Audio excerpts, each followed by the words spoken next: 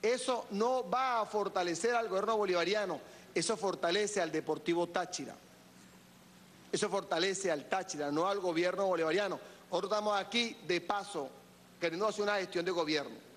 También se recuperaron 600 kilómetros de vialidad, se colocaron 3.200 toneladas de asfalto, se removieron 176 reductores de velocidad. Yo quiero hacer un llamado de atención a los alcaldes del Táchira.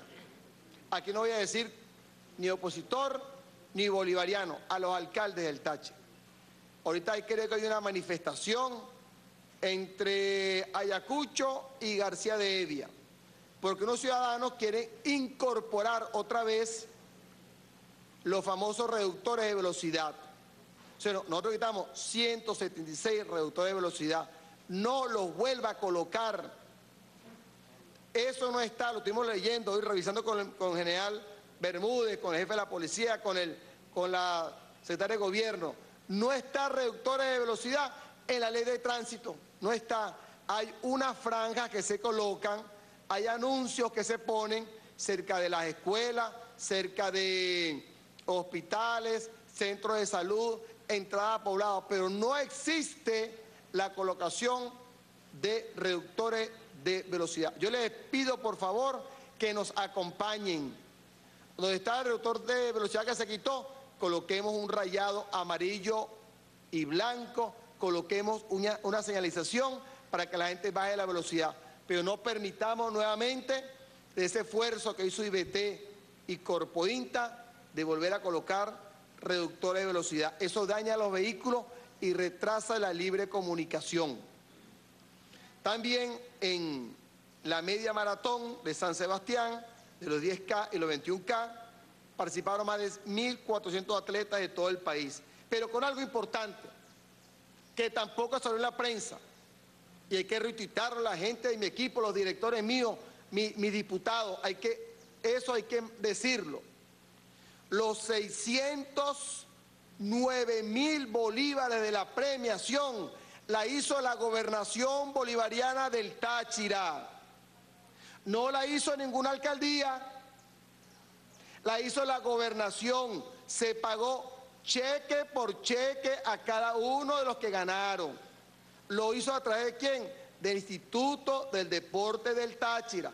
No es como era antes, que hacía la premiación y se iban. No, le pagamos por primera vez. Y se me olvidó decir que la vuelta al Táchira, por primera vez, se subía el atleta, el ciclista y el cheque en su mano. Eso, eso lo cubrió la gobernación del Táchira. Y pagamos deuda 2009, 2010, 2011, 2012, 2013 y estamos cero deuda 2014. Eso no se dice. Díganlo.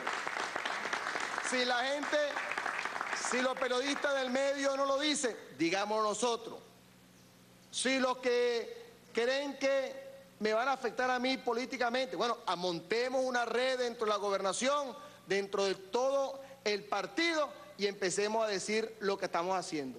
Porque gastamos bastante dinero con satisfacción para que eso sea digno y la gente se vaya del tache. No, yo, yo no voy a correr más porque no pagan. Entonces necesitamos ir para allá. También contamos con las visitas ministeriales del ministro del Turismo. Se firmó, un acuerdo el día 23 de enero. También el ministro del Deporte, Antonio Álvarez, que ya ha dicho que va a trabajar, el Potro Álvarez va a trabajar para, ojalá que se logre, que sea la vuelta al Táchira patrimonio nacional en su 50 aniversario.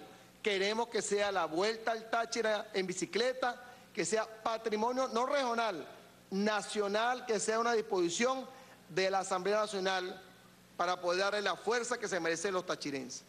También en la feria agropecuaria participaron 53 ganaderías pertenecientes a todo el país, así como una ganadería colombiana y una brasilera.